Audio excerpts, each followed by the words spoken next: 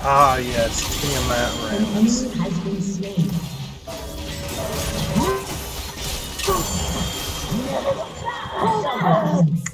That is my time.